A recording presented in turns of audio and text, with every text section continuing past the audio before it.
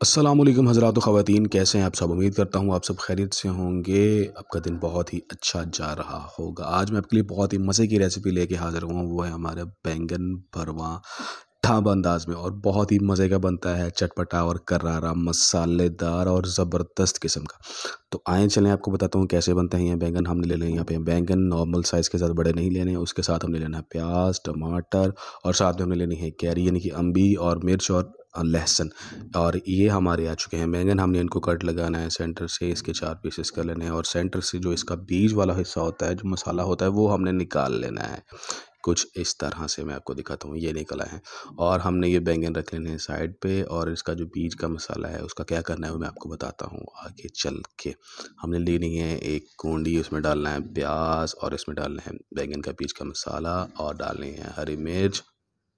और डालना है हमारा जो लहसुन है और इसमें हमारी जो अम्बी है, यानी कि कैरी है, कच्चा आम, वो डालना है। इससे खटास है और बहुत मज़े का फ्लेवर है। इसको अच्छे से कूट लेना है और कूटने के बाद कुछ इस तरह की शक्ल आ जाएगी और याद रखिए, इसमें अपने नमक फ़िलहाल ऐड नहीं करना। नमक हमने बाद में ऐड करना है। अब यहाँ पे हम स्पाइसेस ऐड करेंगे। यहाँ पे हमने ऐड कर दी है सुरख मिर्च पाउडर उसके बाद हम इसमें ऐड कर देंगे हल्दी और इसके बाद हमारी आ जाएगी इसमें काली मिर्च। पिसी हुई।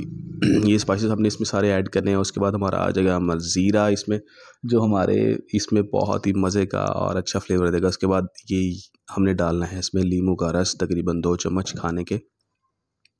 और इसके बाद हमने डाल देना है इसमें नमक और इसके बाद हमने इसमें डालना है सूखा धनिया।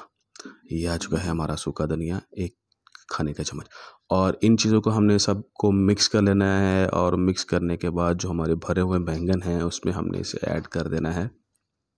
तो ये मिक्स हो चुका है यहाँ पे और मिक्स होने के बाद ये देखिए कितना प्यारा और बहुत ही मज़ेदार लग रहा है। और इसके बाद हमने इस जो हमारे पास कट किए हुए बैंगन हैं हमने उसको अंदर इसके फिलिंग कर देनी है और फिलिंग करके रख देना है इसको साइड पे।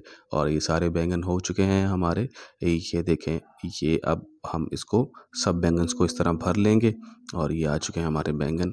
और ये देखें, बहुत ही मज़े की रेसिपी बनने वाली है। तो ज़रूर देखिएगा, पूरा देखिएगा। और ये आ चुका है हमारा पैन में हमारा ऑयल इसको कड़कड़ा के और हमारा जो बाकी मसाला जो था बचा हुआ हमने इसमें डाल दिया। और इसको अच्छे से हमने भूनना है और इसकी जो पानी है वो करना है और इसको अच्छे से पकाना है। ये देखिए हमारा यहाँ पे जो है बैंगन का वो जो मसाला है और प्याज का मसाला है भून चुका है काफ़ी देर तक।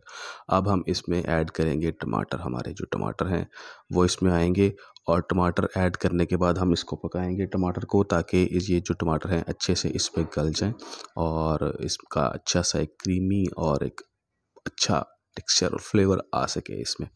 तो थोड़ी देर के लिए टमाटर को रख देंगे ताकि टमाटर जो हैं वो अच्छे से गल जाएँ और यहाँ पे टमाटर जो हैं हमारे वो गल चुके हैं और ये देखें मसाले में शामिल हो चुके हैं। तो यहाँ पे हमने इसको थोड़ा सा भुनाई कर लेनी है ताकि जो कच्चापन है वो सारी चीज़ों का वो दूर हो जाए। और ये बहुत ही मज़े की बनती है रेसिपी यार, आप इस पर घर पे ट्राई करोगे आपको मज़ा आएगा कि वाकई यार आपने कोई चीज़ खाई है। नॉर्मल रूटीन में आप बैंगन खाते रहते हो तो कुछ डिफरेंट ट्राई करो, उसमें मज़ा आएगा। और यहाँ पे हमने ऐड कर देना अपने बैंगन जो है वो एक करके और इसको थोड़ी देर के लिए ढक देना है, दम के रख देना है। और आप चाहें तो इसको चेंज भी कर सकते हैं साइड्स की तकरीबन दस मिनट के बाद। और रेसिपी कैसी लगी ज़रूर बताइएगा और कमेंट बताया करें आपको रेसिपीज़ कैसी लगती हैं। तो अपने और लोगों का ख्याल रखिएगा। मुझे इजाज़त दीजिए। थैंक्स फॉर वॉचिंग अल्लाह हाफिज़।